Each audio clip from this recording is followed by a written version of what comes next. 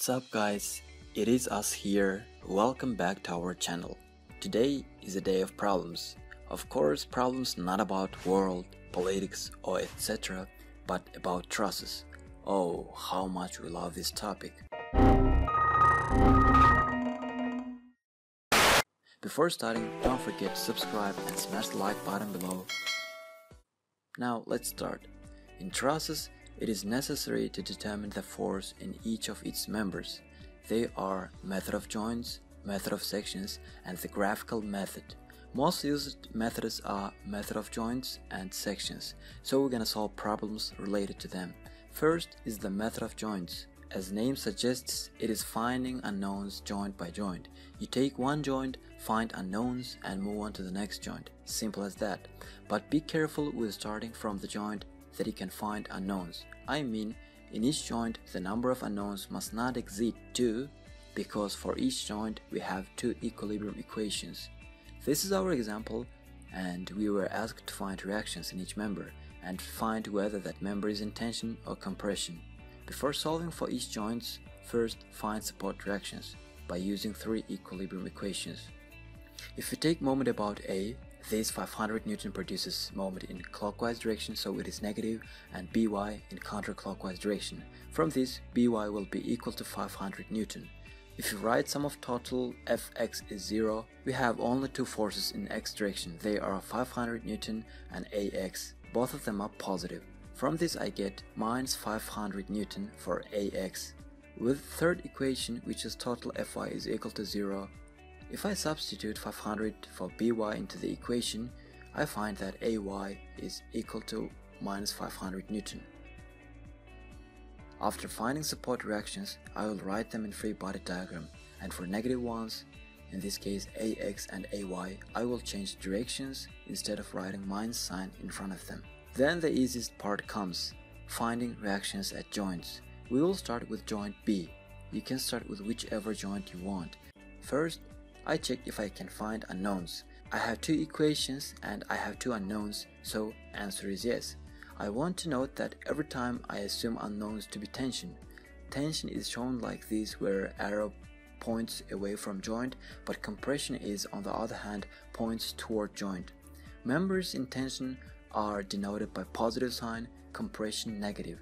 If our assumption of tension for unknowns is incorrect, our answer will be negative, meaning that the result is compression. Remember that a member in compression pushes on the joint and a member in tension pulls in the joint. By writing equilibrium equation for x direction I have 500 Newton and component of FBC in x direction. From this I get minus 707.1 Newton for FBC. If you remember, negative sign meant that our member is subjected to compression. If I write equilibrium equation for direction y, I get positive 500 Newton for FBA, meaning that it is tension. Let's correct our directions here. Arrow points towards the joint B because FBC is compression. Forces on the same member will be equal in terms of direction and magnitude. If one of them is tension, other one will always be tension. Joint A is a lot simpler because we already found FAB which is 500 Newton. To find last unknown, it is enough just to write equilibrium equation for x direction and from that we find FAC as 500 Newton. As it is positive, it will be tension. In joint C, all members are known because we found them when solving joints B and A. As I noted, if force on the other end of the member is compression, second force will also be compression. And this is final free body diagram of our truss with indications of tension and compression members. You see that if joint is subjected to compression, member will also be subjected to compression. Same things for tension as well. So we learned the method of joints. Second method is be careful how to get girls with statics knowledge. of course joking man. What?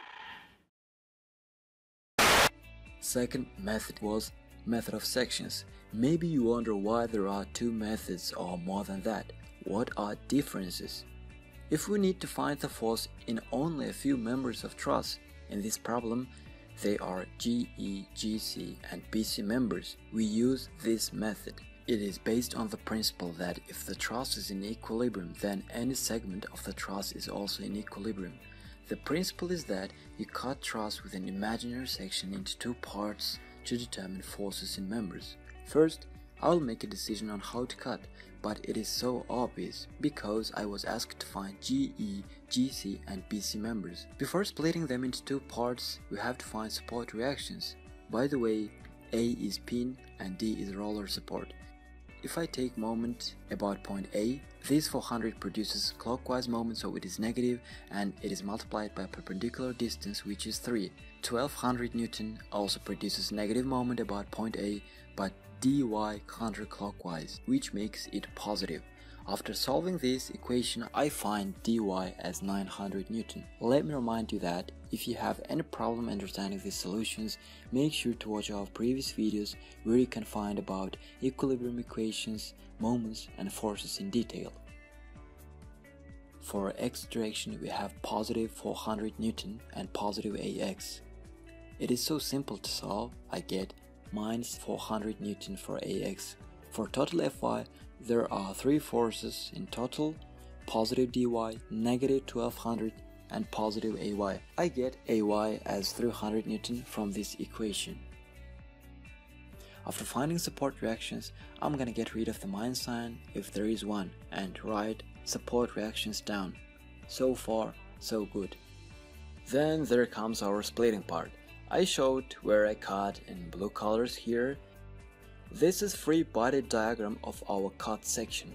As these forces are on same member, their opposite force will also be equal to them. After dividing into two parts, I can work with any of them, but I choose left part because there are less forces, meaning that we will simplify our calculations. Even if you solve for right one, you will get same results for member reactions. This is the free body diagram of chosen one.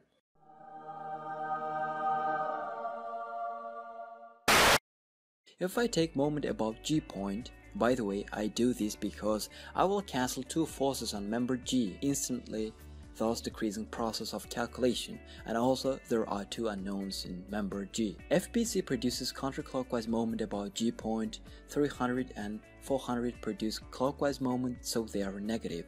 After solving this equation, I found FBC as 800 Newton. So this means that BC member is subjected to 800 Newton tension. If you write equilibrium equation that total Fy is equal to 0, I can find FGC easily because FGC is only unknown there. Y component of FGC will be FGC times 3 over 5 from this triangle. How we got this? To learn them in detail watch our video about force. Solving this equation, I get 500 Newton for FGC, which is tension.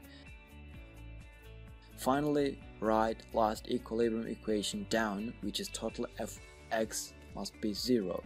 We have negative 400, positive FBC, FGE, and x component of FGC, which is FGC times 4 over 5. The only unknown here is FGE, piece of cake.